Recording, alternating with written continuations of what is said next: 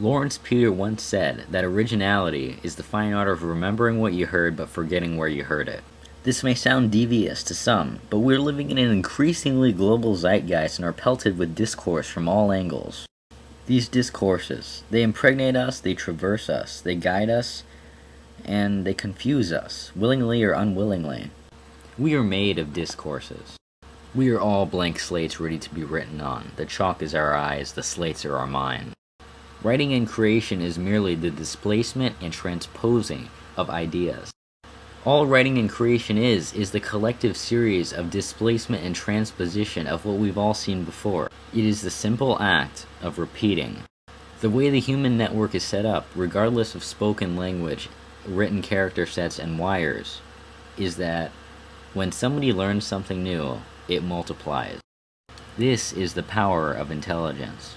If a dog learns something new, that new something will die with the dog. If a dolphin learns something new, it will be able to teach it to the rest of its family. But if a person learns something new, that idea has a good capacity to reach every person in the species. That is the power of intelligence. I'll tell you something. I'm not looking for fame. The only reason why anybody wants their name attached to things is for advancement in the social structure and for economic benefit. In my opinion, when fear of plagiarism holds back intellectual growth and the creation of new works of art, it should be ignored.